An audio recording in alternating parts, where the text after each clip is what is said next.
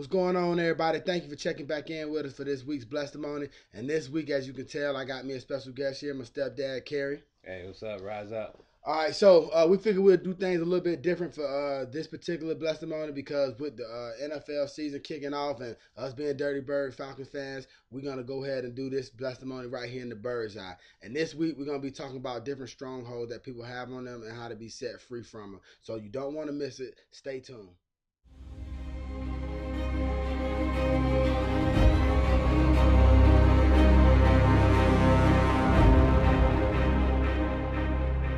All right, so we're gonna go ahead and hop right into this thing. Try to keep this video as short as possible. But today we're gonna be in the King James Version Bible, just like always, reading from First Corinthians chapter six, verse twelve.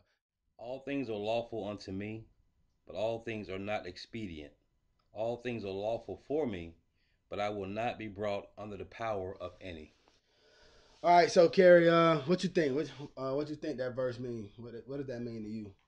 Uh, certain strongholds that have grips on people, be it sweets, be it narcotics, be it alcohol, uh, that they can be delivered from those strongholds. Yeah, I I, I agree.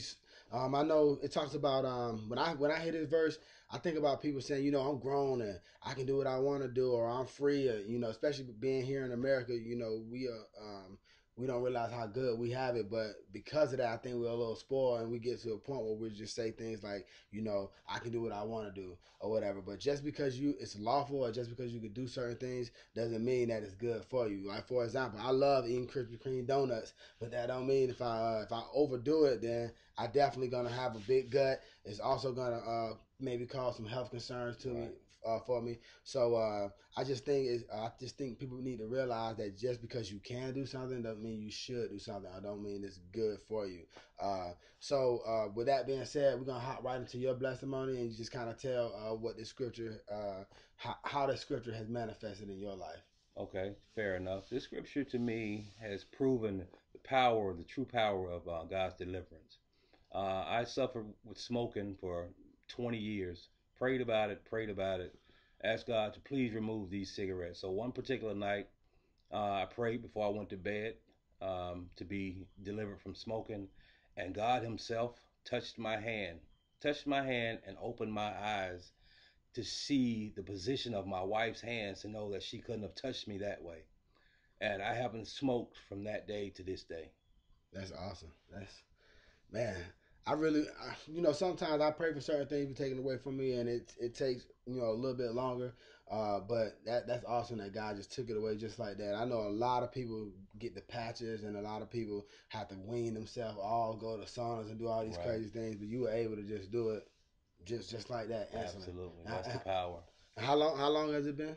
Uh, it's been almost five years now. Five years. Hey man, that's hey, that's crazy. So there you have it. You know, if you seek God and if you you know go to Him, He will you know He will speak to you. He'll do it on His time. It may not be exactly when you want it to be, or it may be instantly. You never know. It just depends on the level of faith you have.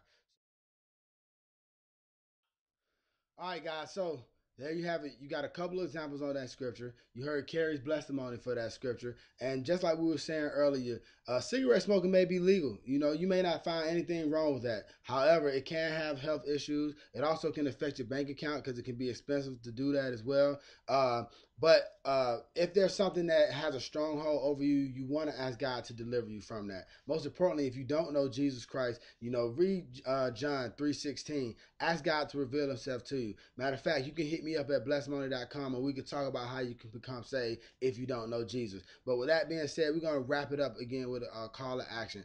If if you have any comments on this, please feel free to leave them, whether you agree or disagree. If you uh, benefited from it, hit the like button, subscribe to the channel. Most importantly, meet us over at blessedtimony.com, become a member of, of our social community, and be a blessing and share your testimony.